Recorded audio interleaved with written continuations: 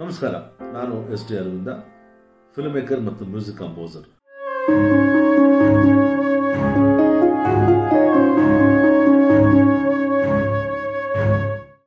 ಮುಖ್ಯವಾಗಿ, ಈಗ short film ಮಾಡಬೇಕು ಅಂತ ಡಿಸೈಡ್ ಮಾಡಿದ್ಮೇಲೆ, ಮೊದಲನೇದಾಗಿ ಎಲ್ರಿಗೂ ಕಾಣುವಂಥ ಪ್ರಶ್ನೆ, ಯಾವ ಕತೆ ನಾವು ಇದಕ್ಕೆ ನಾವು ಶಾರ್ಟ್ ಫಿಲ್ಮ್ ಮಾಡಬೇಕು ಅನ್ನೋದು.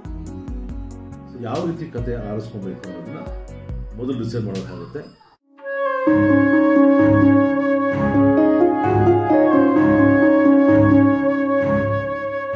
ನಮಗೆ ಗೊತ್ತಿರುವಂಥ ಒಂದು ವಿಷಯ ಅಥವಾ ನಮ್ಮ ಸುತ್ತಮುತ್ತ ನಡೆದಿರೋ ಒಂದು ಘಟನೆ, ಅಥವಾ ನಮ್ಮ ಜೀವನದಲ್ಲಾಗಿರುವಂಥ ಒಂದು ತುಂಬ ಇಂಪಾರ್ಟೆಂಟ್ ಇನ್ಸಿಡೆಂಟು ಅಥವಾ ಒಂದು ಎಮೋಷನ್ ಇದ್ರ ಸುತ್ತ ನಾವು ಒಂದು ಕತೆ ಕಟ್ಟೋದು ಬಹಳ ಸೂಕ್ತ ಅನಿಸುತ್ತೆ. ಯಾಕಂದರೆ ಪ್ರತಿಯೊಬ್ಬರಿಗೂ ಅವ್ರದ್ದೇ ಆದಂಥ ಒಂದು ಎಕ್ಸ್ಪೀರಿಯನ್ಸ್ ಇದೆಲ್ಲ ತುಂಬ ಯೂನಿಕ್ ಆಗಿರುವಂಥದ್ದು.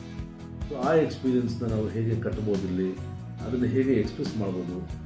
ಆ ಒಂದು ಘಟನೆ ನಡೆದಾಗ ನೀವು ಅದು ಅದರಲ್ಲಿ ಪಾತ್ರ ವಹಿಸಿದ್ರೆ ಆ, ಟೈಮಲ್ಲಿ ನಿಮಗೆ ಎಷ್ಟು ಶಕ್ತಿ ಇತ್ತು ಅಥವಾ ಎಷ್ಟು ಅಸಹಾಯಕರಾಗಿದ್ರಿ ಇವನ್ನೆಲ್ಲ ನೀವು ಒಂಚೂರು ಕೂಲಂಕುಷವಾಗಿ ಯೋಚನೆ ಮಾಡಿದ್ರೆ ಒಳ್ಳೆ ಒಂದು ಕಥೆನ ಗ್ರಹಿಸಿ ಅಲ್ಲಿ ಒಂದು ಸ್ಕ್ರೀನ್ ಪ್ಲೇ ಮೂಲಕ ಅದನ್ನು ಹೇಳ್ತಾ ಹೋಗ್ಬೋದು.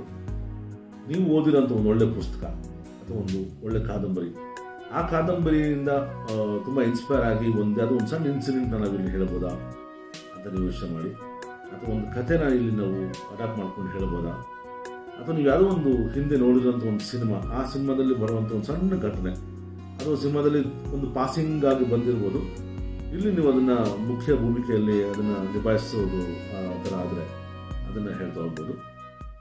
ಅಥವಾ ನಿಮ್ಮ ಸ್ನೇಹಿತರ ಜೀವನದಲ್ಲಿ ನಿಮ್ಮ ಸ್ನೇಹಿತರ ಒಂದು ತುಂಬ ಪ್ರಮುಖವಾದ ಘಟ್ಟವನ್ನು, ಘಟನೆಯನ್ನು ನೀವು ಇಲ್ಲಿ ಕತೆ ಹೇಳ್ಬೋದು. ಅಥವಾ ತುಂಬ ಇನ್ಸ್ಪೈರ್ ಮಾಡುವಂಥ ಯಾವುದೋ ಒಂದು ವಿಷಯ ಇಲ್ಲಿ ಹೇಳ್ಬೋದು.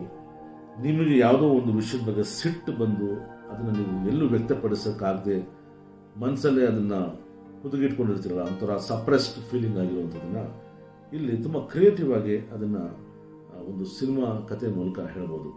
ರೊಮ್ಯಾಂಟಿಕ್ ಜಾನರ್ ಇರ್ಬೋದು, ನೀವು ಆ್ಯಕ್ಷನ್ ಮಾಡ್ಬೋದು, ಒಂದು ಥ್ರಿಲ್ಲರ್ ಮಾಡ್ಬೋದು ಹಾರರ್ ಮಾಡ್ಬೋದು ಕಾಮಿಡಿ ಮಾಡ್ಬೋದು, ಒಂದು ಸಟೈರ್ ಮಾಡ್ಬೋದು, ಅಥವಾ ಒಂದು ಟ್ರಾಜಿಡಿನೇ ಆಗಿರ್ಬೋದು ಯಾವುದೇ ಥರದ್ದು ಜಾನರ್ ಆಗಿದ್ರು ಕೂಡ ಕಥೆನಲ್ಲಿ ಒಳ್ಳೆ ಘಟನೆಗಳನ್ನ ನೀವು ಅಳವಡಿಸ್ಬೇಕಾಗುತ್ತೆ.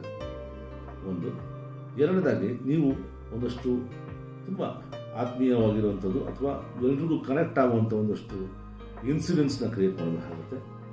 ಹಾಗೆ ಒಂದಷ್ಟು ಪಾತ್ರಗಳನ್ನ ಕ್ರಿಯೇಟ್ ಮಾಡಬೇಕಾಗುತ್ತೆ.